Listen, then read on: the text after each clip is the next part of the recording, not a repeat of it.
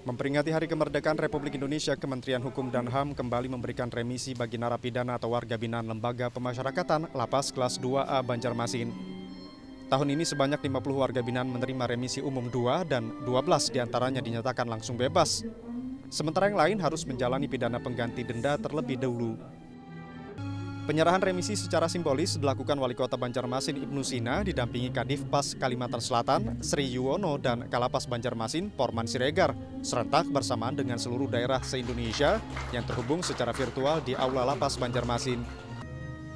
12 narapidana yang bebas di antaranya dari kasus narkoba dan pidana umum. Menerima remisi, warga Binan mengaku bahagia dan tak sabar bertemu keluarga di rumah. Gimana perasaannya? Anda bahagia banget bahagianya kenapa? nah, luar biasa bahagia jadi mau bisa kumpul sama keluarga gitu kan Dari Dewanar kan? Iya, rindu banget Apa yang sudah dibayangkan Pak ketika sampai di rumah? Apa yang dilakukan? katanya kumpul sama anak gitu sama istri kan Yang bebas ah, dari yang 12 ini ada sekitar ah, 9 orang yang narkoba. Sisanya pidana umum. Ya. ya, saya berpesan dengan mereka mengantarkan mereka keluar dengan RU2 itu remisi bebas tidak mudah. Tentu itu dengan melalui proses dan proses. Dan mereka itu mudah melalui dan alhamdulillah hari ini mereka mendapatkan merdeka untuk bebas hari ini.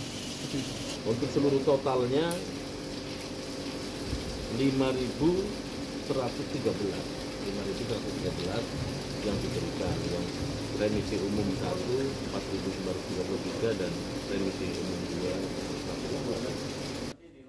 Sementara Wali Kota Banjarmasin menyebut akan kembali mengupayakan pelatihan keterampilan kepada warga binaan yang telah bebas.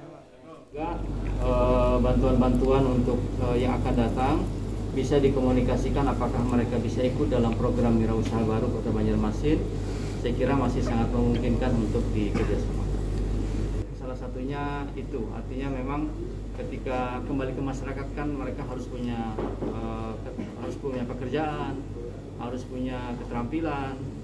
Karena kalau tidak punya pekerjaan dan tidak punya keterampilan pasti akan mikir yang lain-lain lagi Selain 50 narapidana penerima remisi umum, remisi pemotongan masa tahanan juga diberikan 1 hingga 6 bulan kepada total 1.217 warga binaan pemasyarakatan di Banjarmasin.